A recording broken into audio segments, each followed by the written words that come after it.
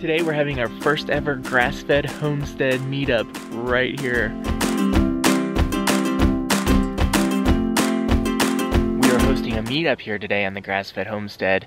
This is a makeup meetup for the for the Justin Rhodes event that we had back in August.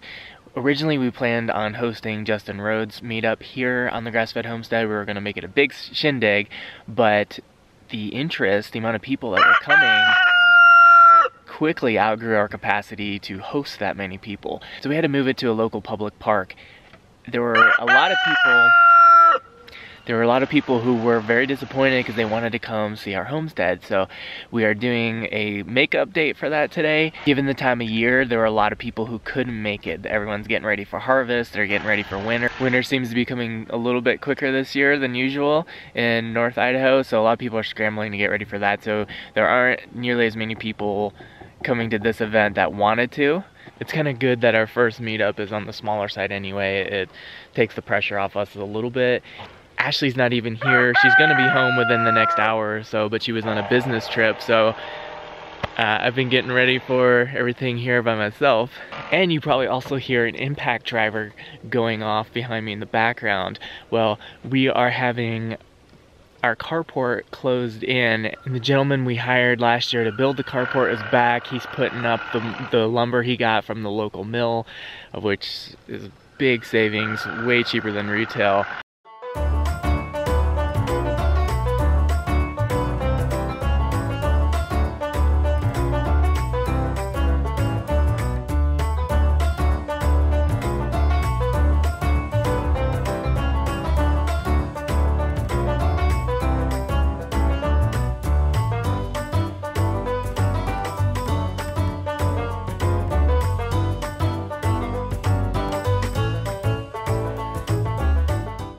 Guests should be just arriving right about now. Hey Steve, how's it going? Good, Good to see you. Good Thanks for coming. Yeah. So we have a nice little gathering here today. Not everyone showed up, I guess because we had some rain earlier that may have scared some people off, but we have a really nice turnout here and we are to spend a little time before we take a little tour of the property, getting to know each other. So right here behind me is Steve. Say hi, Steve. Hi, Steve. so, so do you have any homesteading uh, goals or? Yeah, I've got about 10 acres. About nine of it's in tree farm right at the moment. I'm hoping to start with some chickens after the first of the year and uh, get my garden going. Are you gonna do a chickshaw? Yeah. Right over here is Richard, and if any of you guys remember seeing our video about Red the Dexter cow, Richard did an awesome thing and got Red. We were pretty heartbroken that we weren't able to get her, but we're really happy that she is going to another really great home because she's a really cool cow. So uh, Richard, what else are you doing on your homestead? Well, we're going to be starting a Dexter breeding service uh, next year. That's going to come in handy for us. And we're also uh, growing orchards, starting our orchard business, and that's up in North Idaho here. So, so Kevin, good to see you guys again. You guys are just starting your homestead, is that right? We just got 10 acres, putting a house up there in spring and then starting the farm. We want to do, you know, homesteading, but we also want to sell some stuff, some market garden stuff, get some uh, critters up there, turkeys and pigs and chickens and a lot of earthworks to do, ponds and swales maybe, keyline plowing. So you've heard of permaculture then? I've done permaculture, yes. Geoff awesome. Lawton, certified from Geoff Lawton. Awesome. Chance? What kind of animals do you want to get? take care of yourself A pig? What kind of pig? A black pig. A black one that makes really good bacon? Awesome. Rob and Rosie. Rob and Rosie are my pig acquiring friends. Rob and Rosie got some of our piglets. How are they doing? Doing good. Doing good, getting big. Are they getting, they're growing rapidly? Awesome. So you guys have pigs, obviously. Mm-hmm. And what else are you doing on your homestead? Chickens for now. Chickens. And you guys are, you guys are off grid, right? Hopefully uh, get some uh, garden and uh, probably try to get a YouTube channel going within the, next, the end of the year here. So. This is where I'll insert the little thing that pops up that links to your channel. We'll have to visit you to get some lambs. Absolutely. Maureen and Craig, we're the Post Falls area. Um, started out with Nigerian dwarf goats and uh, have chickens. We're starting out also with Icelandic chickens because they're supposed to be very winter hardy. They are, yes. Predator savvy. Um, looking into Idaho pasture pigs next and sheep after that. Awesome. So are you guys milking your goats? Oh yeah, Very cool. And here is Tom Wiley. Tom, you are also homesteading, is that correct? What's We're going on in your just homestead? starting to. So we have five acres just a ways south of here, and uh, we were starting from scratch. We got our well, actually, our pump in the well yesterday. Awesome. So we have water now, and- Congratulations. and, which is really Yes. exciting. that felt really good. and you guys are documenting your experience, aren't you? Yeah, How are you doing that? we're we have a YouTube channel which is Tom Wiley with no space between, um, and it's WileyHomestead.com is the website. Are you doing kind of like a vlog We're style? doing vlog style. I, I do, we're leaning um, especially toward um, kind of the handyman aspect of homesteading and how homesteading involves doing stuff yourself. Often, you know, with the equipment you have on hand, the tools you have on hand. Homestead minimalism, right? Yeah, yeah. And we practice that here. so I'm that's the background I come from is doing building stuff and and fixing things and so um, so I do a lot of um, kind of how to fix it stuff on the channel too. Cool. So Tom Wiley YouTube channel, we'll leave a link for that as well so people can find you easy. Awesome. And what is your name and what are you doing for homesteading? Um, what am I doing for homesteading? American guinea hogs. They are approaching market, what we call market weight. So that's not full size. Full size would be like your breeding stock size. Market weight is when they get to their peak weight for harvest. Anything after market weight, the weight they put on is much slower and less efficient if you're trying to make a sale. So that's mm-hmm. why market weight is a certain way. So with American guinea hogs, that's in the 100, 120 pound range. Oh. With a typical like a Berkshire, um, Tamworth, uh, IPP, the Idaho pasture pig, whatever it might be, you're looking for around 220 pound market weight. So completely turn over the soil, soil you'll get perfect disturbance. And you know, pay, people pay good money renting or buying tillers to do this, right? And so we have pigs that do it, and we get pork in the end. So it's it's a wonderful situation. They love it. They, I mean, to, when we move them into the next one, I mean, they just you could just sense the happiness. The pigs get right to digging. They love it. So. Um, we decided to go with the American guinea hog for a couple different reasons. One, they're small, like we were talking about. They're manageable, especially for a new pig owners like us. Um, I can get in there, and they're not going to knock me over. I'm not going to have any kind of conflict Right. with management like that. Also, they're they're known for being a very docile breed okay. with a Berkshire, maybe even six months. You know, so Okay. you you get there much more quickly. Now, they eat a lot more feed than the American guinea hog, but you finish so much sooner that it, it- that whole Less- feed less equation can. Work I. I haven't done the math, Right. but theoretically it could be a wash Okay. in that sense. But what you are doing is you're you're getting a lot more time and you're not overwintering. So, and if you're selling for market, the time is very important. Mm-hmm. So uh, that's a disadvantage.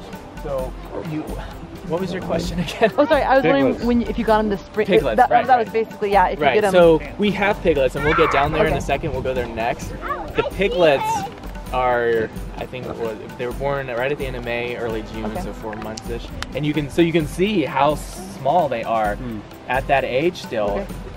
Keep in mind what I just said, six to seven months Yeah. on most pigs for a harvest, and they're just a few months behind that, and they're very much piglets still. Okay. So you can say They're little guys. you can see that very slow growth. So these we're are gonna, so these you feed over winter. It's not a you buy them in the spring, the piglets, and then. Mm-hmm. Okay, so you you can right. We we get trapped in a mentality sometimes where we're stuck to these numbers that I was saying. Yeah. You can sell at any point, As long as it's cold outside. but Okay.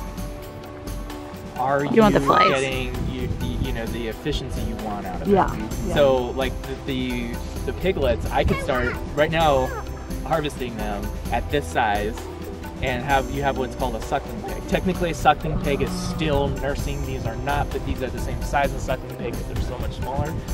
And you just process them the same way. You leave the skin on. You do a scald and scrape method. So hmm. you're, you're you head on everything. Just you're eviscerating, and uh, the next day you uh, scour the outside skin, salt, a little pepper, sage, toss it in the oven like a turkey. Out comes the most crispy crackling you've ever eaten in your life, and it's a really, really nice thing. So don't don't fixate on the time. I mean, you could do it at any point. What are some things that you've learned processing a couple pigs? What did you learn that you weren't expecting you'd encounter? I was not expecting to get shot in the face with pig urine uh, from a dead pig that was hanging. When when you use this thing, it's, it's a bell-shaped scraper, a hog scraper. It's got a handle on it. Uh, if you remind me later, I'll get one out. Um, and it, it's metal um, bell shape at the end, and you use like the a medieval torture edge tool. of it at a downward angle to, to slough the skin and the the, um, the outer epidermis layer, the epithelial tissue, right, um, off the pig. So these pigs look black. They will be like a whitish pink pig after we scrape them. Once that happens, but when you're scraping the belly area, you put pressure on that bladder right there. Well, the male anatomy of the pig, you can see in the piglets, the the area where the urine would come out is uh, like right here on us. It's very high up, so it's right in your face when you're. And I, I got a little little blast of that. That was Well, you're in a sterile, right? interesting. Yeah. It has healing properties. It does, um, but it also smells badly. Oh, really? Buy a face shield. You kept your mouth closed, right? Yes. Unusual Clara behavior. Was just a few weeks old, and she was Pardon me. obviously becoming the runt in the litter. She wasn't doing well, and then the mamas weren't letting her nurse, and the other piglets were forcing her off the teat, kind of deal. So she wasn't getting enough, but she was hanging in there. She was still trying.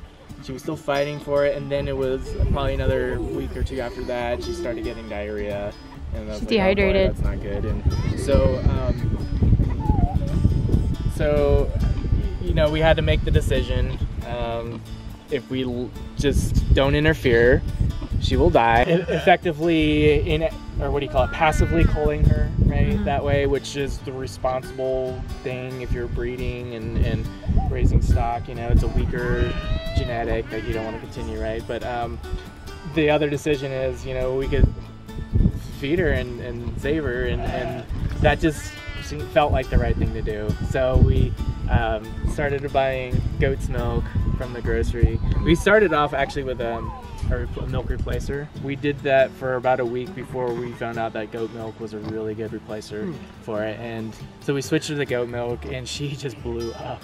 Um, and it was really cool because the pigs were all in here at the time, and we would just call for her, Clara, it's time for milk, and she, you hear her like, and then she squeeze out the fence and come running up. We'd feed her over by where the, the carport is, and she was literally, I could hold her in my palm. I mean, she was so tiny, and that that was July. Yeah, it was July, the week of July 4th. So she's gotten really big, She's and she's in fact, Very assertive about what she than wants. A couple of her siblings over there. Um, so Some big cheeks. Do you figure that ordeal's led to like she's more um, accommodating with being picked up? Yeah. Yeah, because I used to carry her with me all the time. I carried her around. Um, I held her in my arm. I did evening chores and all the time. I had her with me. Just um, we bonded. Um, now she's she's gotten kind of grumpy. You know, she, she doesn't Grumpy. need me anymore. So it's like the teenager, right? Like you give them 15 years of care, and then you know they they get hormonal and grumpy and, and Oh my gosh, are your feelings hurt? Just a little. You sound sensitive, darling. So, anyone want to pet Clara? She's very nice. What are you talking about? I didn't quite understand. You want what? Food? Oh, I'm so sorry. I didn't understand you the first time.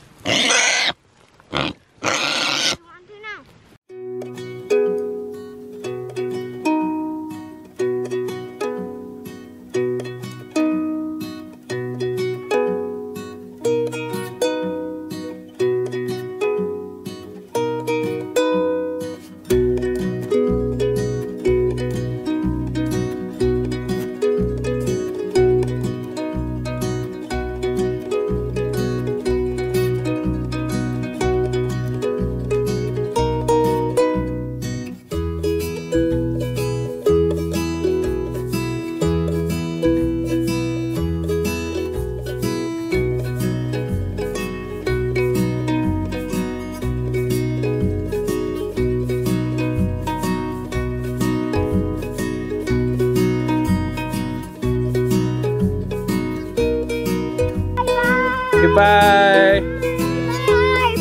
Bye. Bye.